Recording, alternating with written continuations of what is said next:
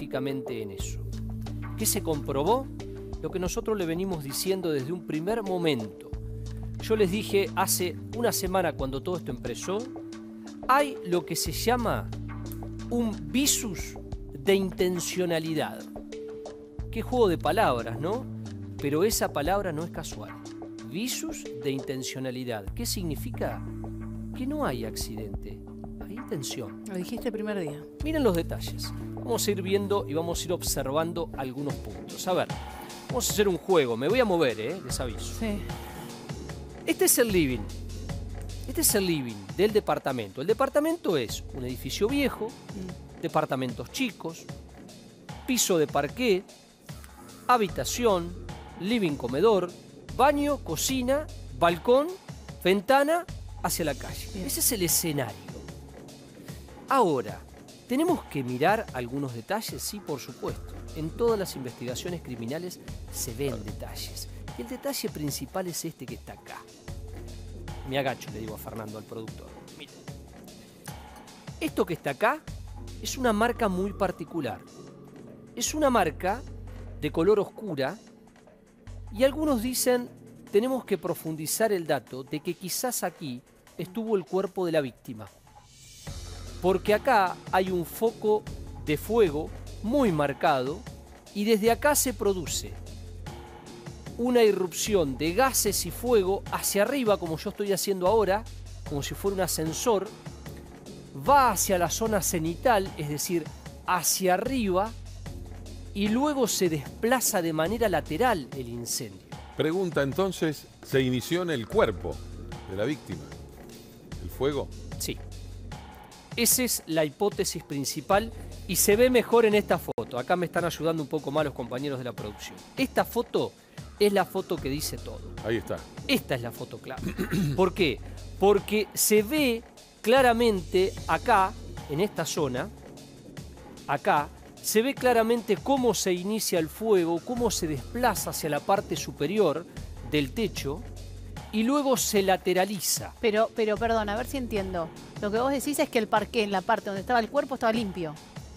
No tiene que ver tanto con eso, porque todo lo contrario, A está ver. más oscuro. Miren la marca que hay Para acá. vos, ¿dónde estaba, dónde estaba tirado Ahí, el cuerpo? donde está ah, medido, ah, ahí. donde está lo negro. Y la fíjate que acá está el parquet.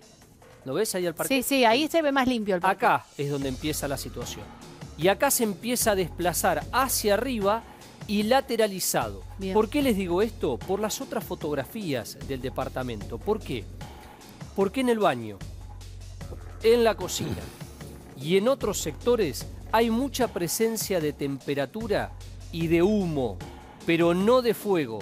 De hecho, en las fotografías, en el baño y en la cocina, hay, por ejemplo, un hornito, hay, por ejemplo, un microondas, hay un lavarropa, hay un lavatorio, como en este caso, que no están prendidos fuegos. Donde se ve presencia de fuego es acá arriba.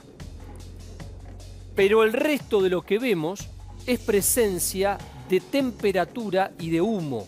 Y ahora cuando vean la foto de la cocina van a ver exactamente lo mismo. Es decir, el fuego se concentró en el living. Y esto es mucho más importante. ¿Por qué? Porque no tuvimos un fuego completo. No tuvimos un fuego completo. Fíjense todos los elementos que hay en la cocina y fíjense especialmente los elementos que hay en la habitación. En la, en la habitación, miren los elementos que yo les decía. Miren, acá hay una lata, acá hay una cubetera, acá hay tazas, está el microondas, Intactos. está el lavarropa, está el horno, todo intacto. Acá lo que sí hay es mucha temperatura Humo. y humo entrante. Pero ahí no empezó nada. Pero acá no empezó Claro, nada. ahí- Vamos Para- a la habitación. En la habitación hay algo que me llama mucho más la atención. A ver. En la foto de la habitación hay cosas mucho más importantes. ¿Por qué hay cosas mucho más importantes? Porque en una habitación hay elementos altamente combustibles y altamente tóxicos. Sí. ¿Qué es lo que hay en una habitación? Miren, hay el colchón, Claro. altamente tóxico y combustible. Sí. El cubrecamas. El Peor. cubrecamas. Los almohadones y las almohadas. Y miren, nada. el informe de bombero, miren lo que dice.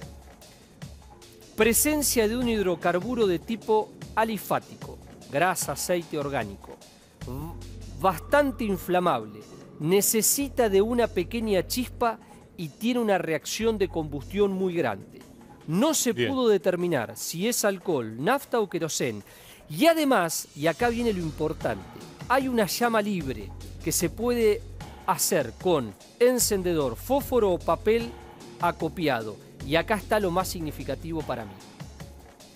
Líquido acelerante Uh. en la piel y en los huesos de la víctima. ¿Saben lo que me dijeron a mí en la morgue? Y con esto cierro ¿Qué?